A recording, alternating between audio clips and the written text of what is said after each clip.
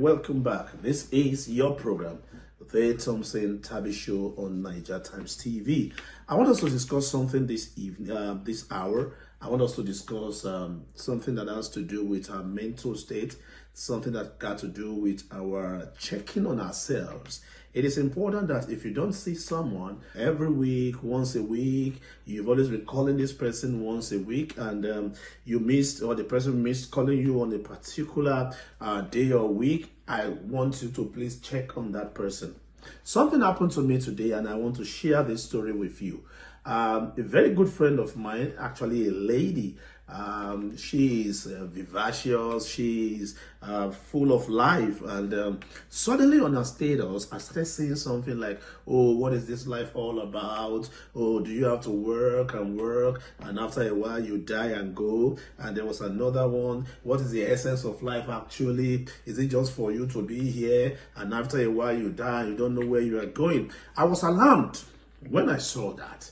And I quickly placed a call across to her and I started asking her what's going on. Oh, she said she's choked, uh, she's in full-time school, she's got a, a full-time job and she has to pay all everything herself and that she's just she's just choked. And I, I needed at that point in time to offer uh, some uh, pieces of um, advice to, to, to her. I know sometimes it be like say nobody send you. That's when I lie.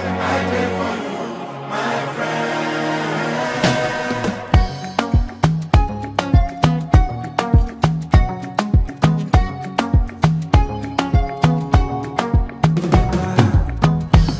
Did no vex for me. Say I never call you since, but I hope that you are well. I hope you're my caretaker.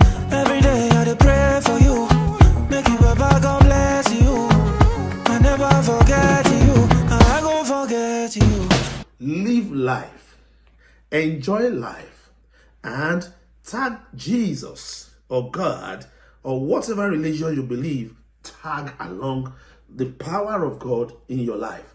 Now, listen, life seems as if it's not working out right now for you. You feel choked. You feel as if nothing is happening right to you. Listen to me. Life is meant to be lived and to be enjoyed. And your spirituality, you must not forget your spirituality at every particular point in time. So, listen, don't be overwhelmed because life would want you to be overwhelmed with what is going on around you.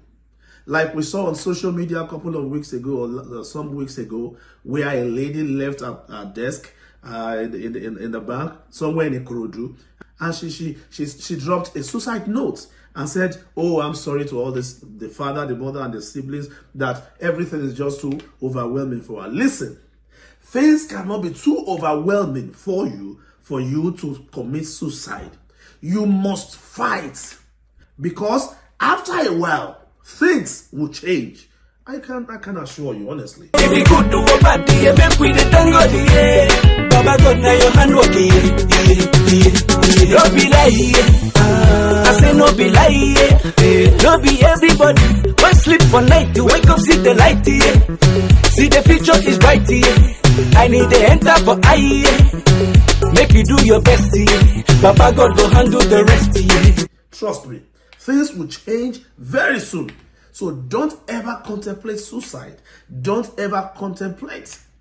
You're not wanting to continue with life. And listen, if you have a brother out there, if you have a sister out there, if you have a friend out there, if your mother is out there, if your daddy is out there, check on them on a regular basis. A whole lot of things are happening. All right? Until I come your way again, this is the Thompson Tabby show by the one and only Don T Baba, Thompson Olade Itabi.